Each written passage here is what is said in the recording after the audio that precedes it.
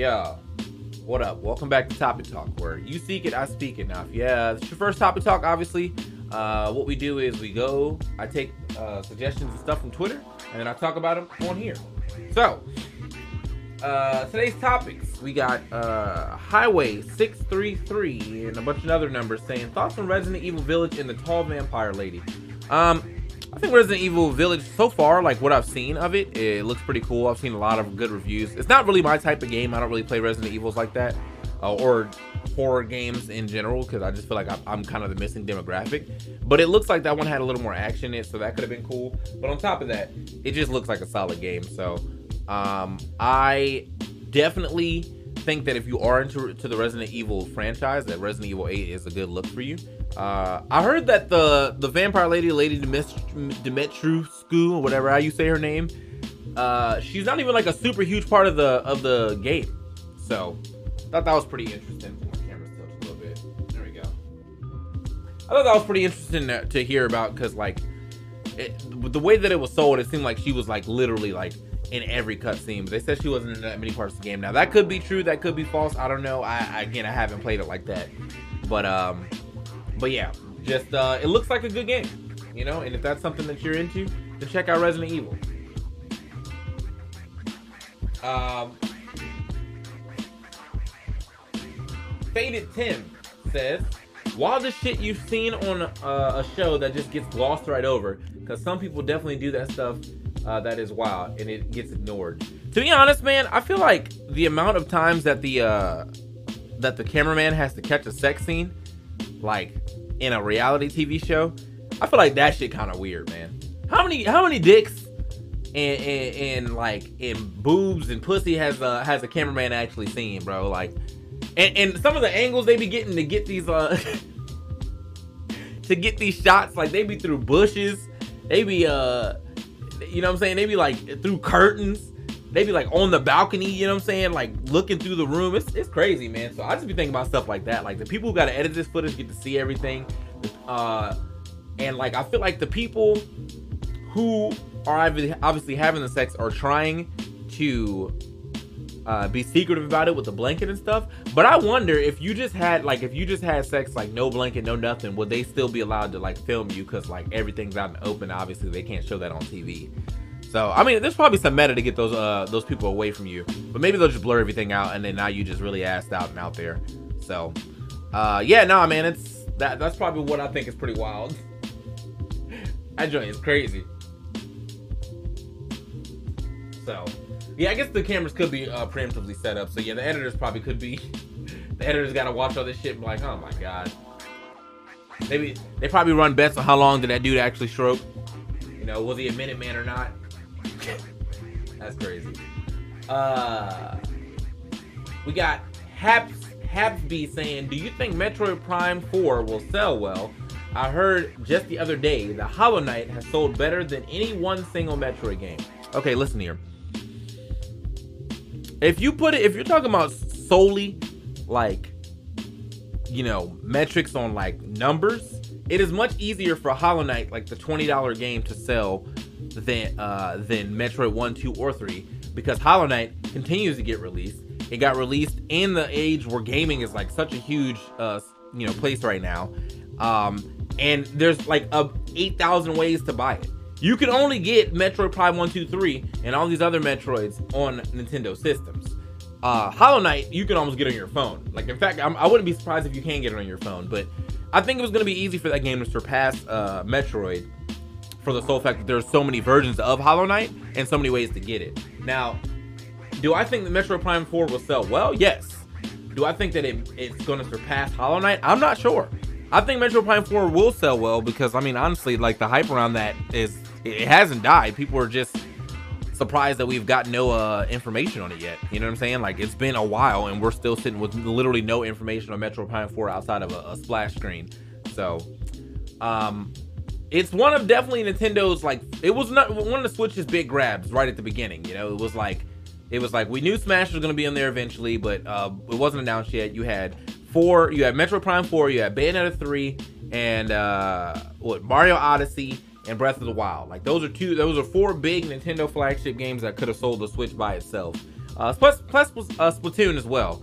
Um, so yeah, it's just I, I think it's gonna sell well. I think that people definitely want a Metroid game. I'm just not sure if it's going to outsell Hollow Knight with Hollow Knight having so many chances to sell and also being a cheaper game.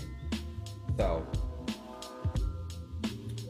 uh, I wouldn't say Prime is a Metroidvania game. It, it's just a Metroid game, like, but it's it's 3D too, so it's a little different than like, like the, like, original Metroids are not Metroidvanias. They're, they're they're Metroid games. Like the, the whole point of Metroidvania is is saying that it's a, it's a combination of Castlevania type gameplay and Metroid type gameplay. Thus, you smash together Metroidvania.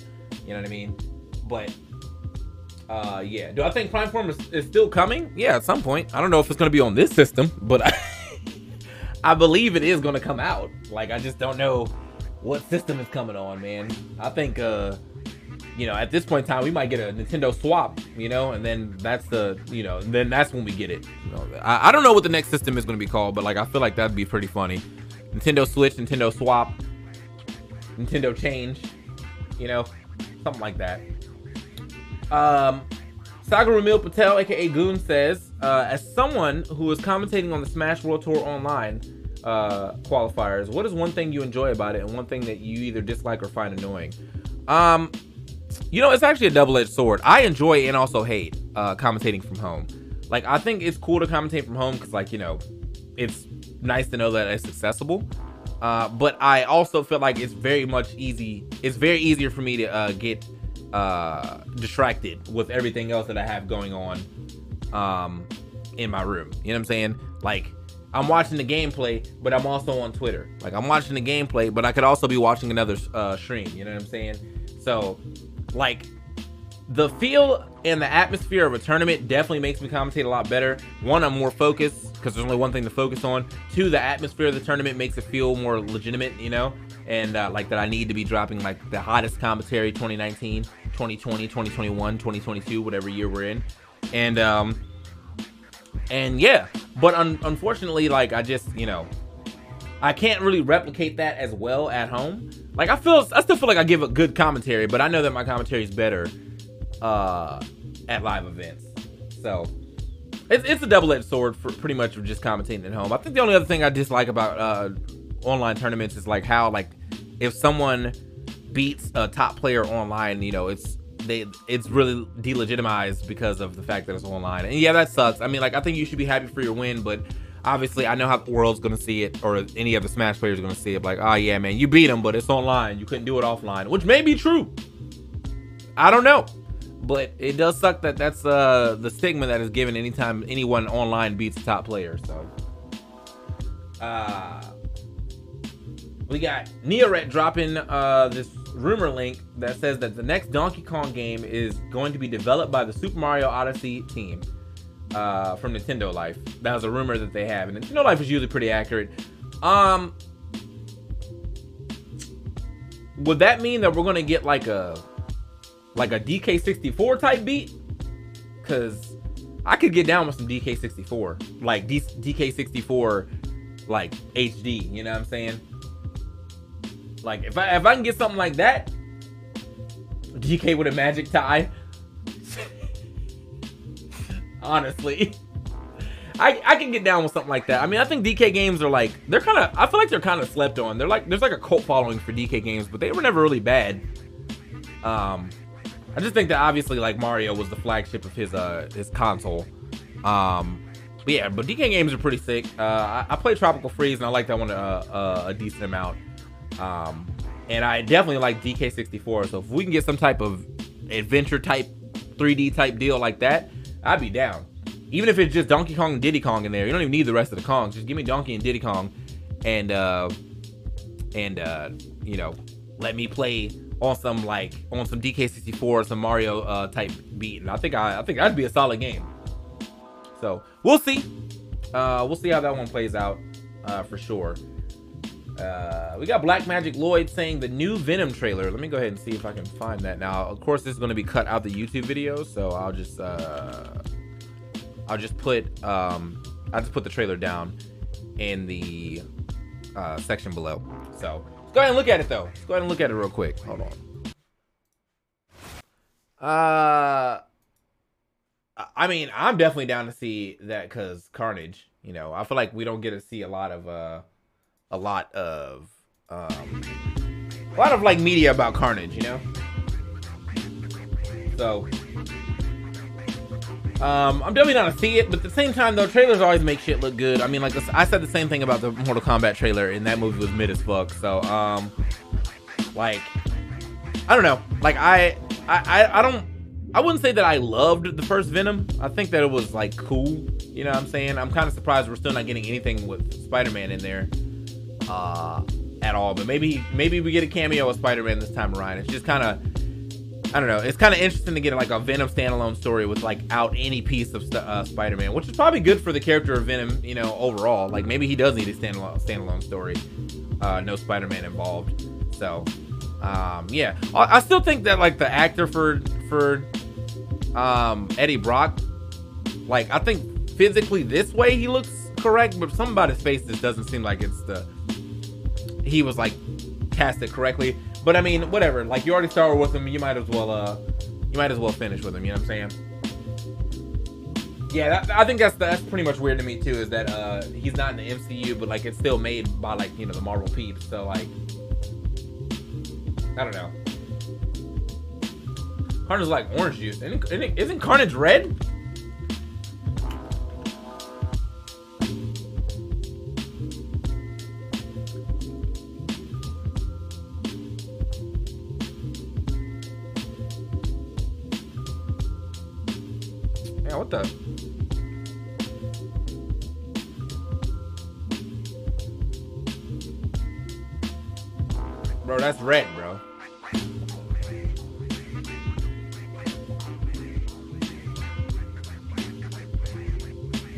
In the, in the trailers, uh, I'm saying trailer cards wasn't crimson enough. Mm.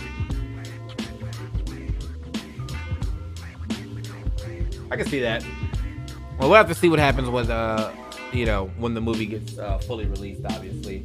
Um, and the last thing that we have to talk about today is the gas source shortage, which I had to do a little research on. Uh, I found out that the gas shortage was because uh, was that the mainline gas company was hacked.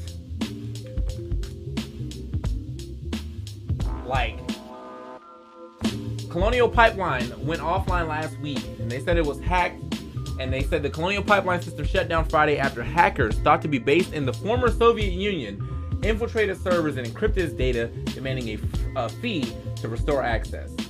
So, I, I mean, of all the things, of all the things to hack, to be honest though, like it worked because it put um, uh, Americans in into some type of peril, man. Like I went to the um, to get food the other day, and every gas station had a line like a long line. And I was like, damn, I'm glad I filled up gas like last Friday because like, I'm sitting on like a, I'm sitting on like more than, I'm sitting on a little, a little less than a full tank right now, so I'm good. But yeah, man, they uh, they they definitely they definitely threw America for a loop right here. Uh, I'm looking at some of the the numbers and where I live in North Carolina, uh, the gasoline outages as of 6 a.m. CT on May 12th. Uh, North Carolina is in the lead with 24.8% of gas uh, gas outages, right?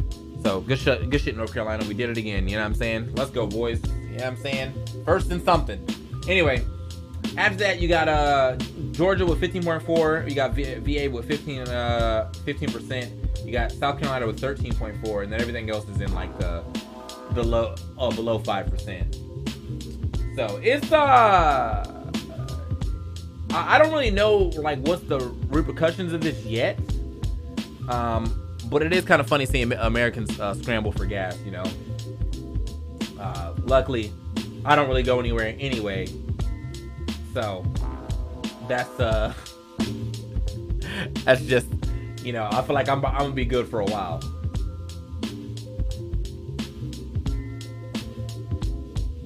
Uh, we got one more. This is actually pretty interesting. Tristan Unique says, "You think Nintendo would split the Switch library like the new 3DS games that could only be played on the newer console once Nintendo released the upgraded version, like Prime 4 only being playable on the new version?" Uh, I think that I feel like that was only uh, hardware uh, dependent because the new Nintendo Switch had the little nub, you know, for like C-stick action and stuff. So there's a lot, a decent amount of games that they made for that, right? Now, if they continue, if they, if there's like some new controller advancement for the new Switch, then maybe. But I hope not. I hope it's just like on like a PS4 uh, and a PS4 Pro type situation where like, yeah, you can still play the game on PS4. It's just not gonna look as good. You know? Uh, so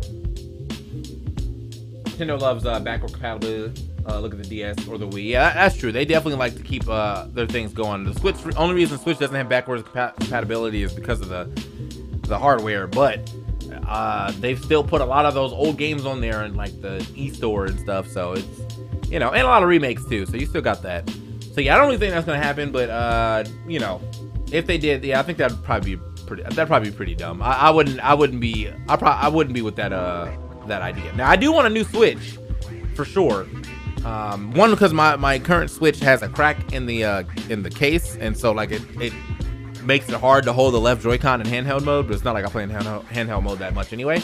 And two, I just want like higher graphics uh on my screen. I want to see it, what it what it's like, and if they can make better games now with better hardware, uh, more 60 FPS games and stuff like that. Anyway, uh, thank you for watching. That was another topic talk. If you liked what you saw, make sure you leave a like and comment below. If you have anything that you want to comment on based off what I talked about, leave a like and or leave a comment below. And uh, I'll drop the Venom trailer in the in the description so you can watch it. Um, but yeah, I'll see you guys on the next topic talk. If you ever want to put your topics in on topic talk when you see the tweet, reply to the tweet. Until next time, peace.